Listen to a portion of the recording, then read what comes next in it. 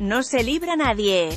La crispación ha asaltado al Sevilla entero, salvo algún jugador como Jesús Navas, el único al que se le acercaban los aficionados en el viaje de vuelta de Madrid para agradecerle su entrega y su vergüenza. El resto fue increpado en Atocha, también en Santa Justa. Oscar Arias está en el ojo del huracán, así como Vincenzo Montella, y los aficionados ya miran a lo más alto de la cúpula sevillista. José Castro tuvo que dar explicaciones a aficionados indignados en Madrid y en Sevilla, donde, tras desembarcar del ave que trasladó a la expedición blanquirroja desde la capital de España pidió perdón a los aficionados, hasta tres veces. Pero la hinchada sevillista no se conforma con eso y quiere soluciones urgentes tras la vergonzosa final de Copa. Ante ese clima de crispación que ha asaltado al Sevilla entero hace falta calma y tranquilidad, una profunda reflexión. Cabeza fría, dijo el utrerano. Aunque en estos momentos, con el equipo habiendo recibido una humillación histórica en una final, habiendo mostrado todos los defectos que arrastraba ante el Barcelona de Messi e Iniesta, y fuera de los puestos europeos por el gol a vera general, una parte del sevillismo incluso pidió la dimisión de su presidente. Desde luego, Arias y Montella ya no cuentan con el favor de nadie entre los aficionados de a pie, sobre eso tratará este martes el Consejo de Administración. La situación es muy complicada en vísperas de la visita este viernes al Levante, un equipo que lucha por no descender.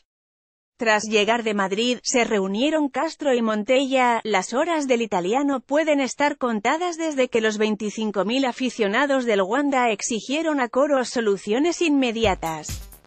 Como presidente tengo que pedirles perdón a todos los sevillistas y tomar medidas, dijo el dirigente utrerano a los periodistas congregados en Santa Justa.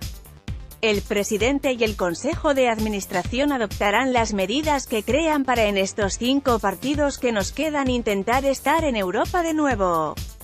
Esta es la prioridad en estos momentos, porque el Sevilla debe luchar con todo lo que tiene, con todo lo que les queda de ánimo y fuerzas físicas a los jugadores, por seguir en Europa, otra cosa sería un fracaso absoluto. Y la afición es consciente de ello y quiere soluciones inmediatas.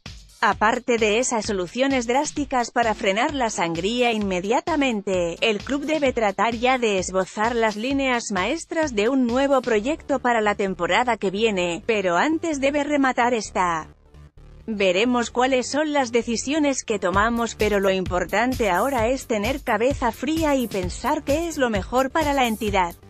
Le hemos dado un golpe a uno de nuestros baluartes que es la afición, porque lo de ayer es incomprensible. Yo también, como sevillista, estoy decepcionado, dijo Castro, que fue increpado en Atocha y Santa Justa, el ambiente crispado ya se percibió en la salida de Atocha.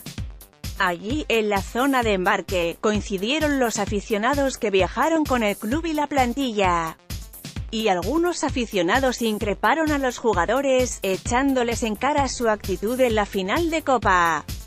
Pizarro incluso se volvió a uno en especial que les dijo que no tenían vergüenza y Martagón hubo de llevarse al argentino para que no fuera a más aquello. Algo similar pasó con pareja y otro aficionado, ni siquiera Castro se libró de algún insulto. El ambiente estaba tan crispado que el presidente y los consejeros esperaron a que todo el pasaje estuviera embarcado para pasar el control y bajar a los andenes. Aún así, en la puerta de los vagones había algunos aficionados que se dirigieron al presidente.